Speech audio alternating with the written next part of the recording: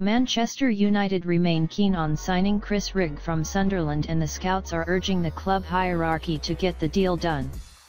The Red Devils believe that he could be the next big thing in English football, and they do not want to miss out on him.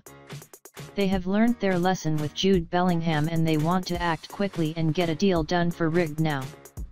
Manchester United were very keen on signing Bellingham when he left Birmingham City in 2020, but they failed to convince him to join the club.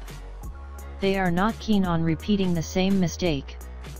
Chris Rigg is highly rated in English football and he has a bright future ahead of himself.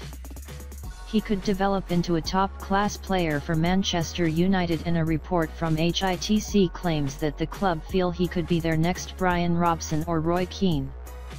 Manchester United are now considering a move for the player in the coming months and a deal could be agreed in January. However, the teenager is expected to stay with Sunderland until the end of the season and then join up with the Red Devils next summer.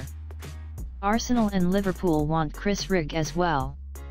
Meanwhile, Manchester United are not the only club keen on securing his services and they will face competition from Arsenal and Liverpool as well.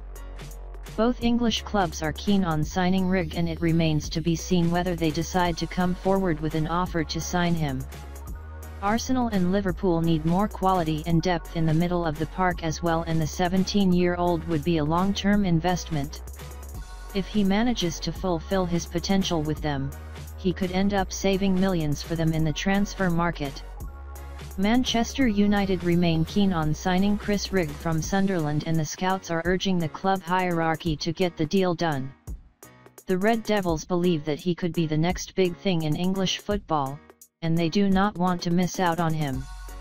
They have learnt their lesson with Jude Bellingham and they want to act quickly and get a deal done for Rigg now.